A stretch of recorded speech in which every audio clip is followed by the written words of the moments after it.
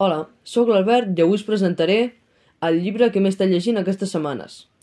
El llibre es diu La noia de la mitjanit, creada per l'escriptora de quilòmetre zero, la Gisela Pou. Una escriptora amb obres com El llop de les pomes verdes, un llibre al qual encara no m'he llegit. La història tracta d'una noia de Barcelona la qual escolta una notícia a la ràdio sobre una iaia molt interessant. Resulta que es deia Gertrude Grass. Va ser una de les testadores de menjar del líder, Hitler, durant la Segona Guerra Mundial.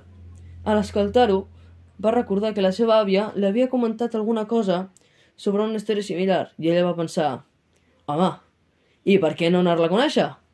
I va anar a Alemanya a buscar-la. Imagineu-vos si estava decidida que no sabia ni alemany i tot i així va anar-hi, amb dos maletes i poc, me i poc més a agafar. I va hi volar i pum, ja era allà, en un pis amb dues persones més, un alemany i un altre francès. Entre ells hi havia molt feeling, però a la que vas passant les pàgines te n'adones de que no tot és bon rotllo entre ells.